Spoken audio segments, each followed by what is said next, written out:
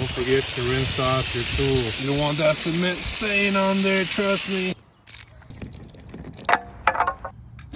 Terminal posts, I have them at 22 inches, and the line posts, I need to get them at 26.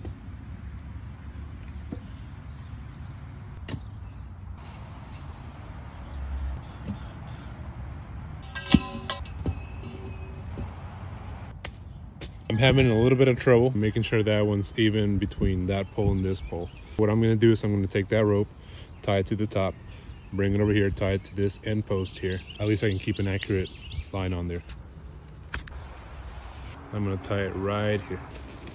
I secure this one on there. 72 inches is how high the six foot mesh is gonna be. So I have this at 70 or 74. Dang it. Hold on. Give or take an eighth. Boom. Three line post and two end posts.